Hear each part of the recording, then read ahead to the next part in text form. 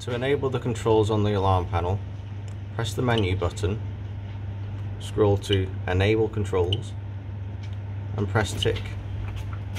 Type in your user code which is 1234.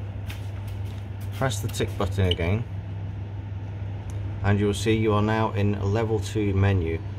Level 2 menu allows these two buttons here to be enabled. It also allows the silence and reset buttons to be enabled as well. The mute button is not affected by the level 1 controls. If we want to disable the controls on the control panel, press menu, go to disable, scroll down to controls,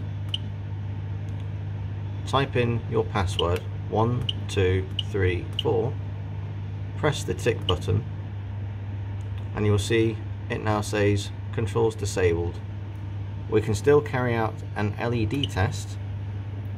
We can still press the mute button if we get a local fault on the system.